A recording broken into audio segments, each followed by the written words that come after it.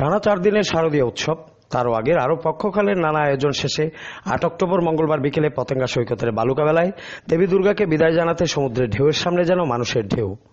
বেলা দুইটা থেকে শুরু হয় নগরের বিভিন্ন স্থান থেকে বিসর্জন যাত্রা। প্রতিমার শোভাযাত্রা পতেঙ্গায় গিয়ে সমবেত হয়। তারও আগে সকাল থেকে নগরের মণ্ডপগুলোতে বিদায়ের আবহে দেয়া হয় পুষ্পাঞ্জলি। কেউ বা দেবীকে আসন থেকে নামিয়ে করেছেন শেষবারের মতো আরতি। নারীরা দেবীর গালে আর কপালে তেল সিঁদুর লাগিয়ে হাতে দিয়েছেন পানের খিলি। শিক্ষার্থীরা বরচেয়ে প্রতিমার হাতে দিয়েছেন একশো আটবার মায়ের নাম লেখা চিঠি।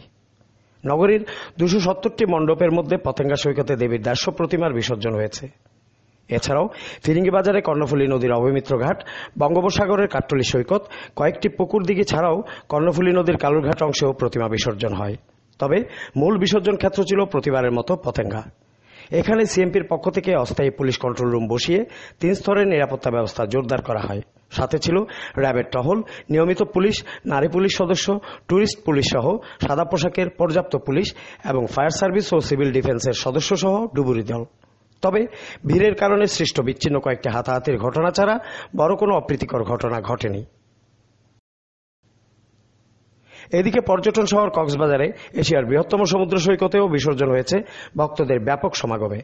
কক্সবাজার থেকে সাংবাদিক এমসা আলম বাংলা বাহিনীকে জানিয়েছেন, সন্ধ্যায় বান্দরবানের নাইকংছড়ি উপজেলা সহ জেলার একশো দশটি পূজা মণ্ডপের প্রতিমা সহ জেলা ও জেলার বাইরে থেকে আনা প্রায় চার শতাধিক প্রতিমা কক্সবাজার সাগর পাড়ে লাবণী পয়েন্টে নানা আয়োজনের মধ্য দিয়ে বঙ্গোপসাগরের ফেনিল জলরাশিতে বিসর্জন দেওয়া হয়েছে।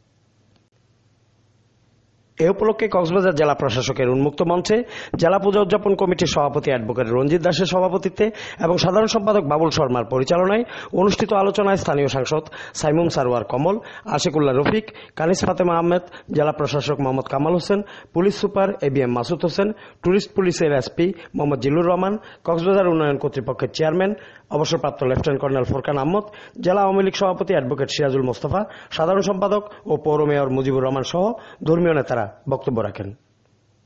বাংলা বাহিনী চট্টগ্রাম।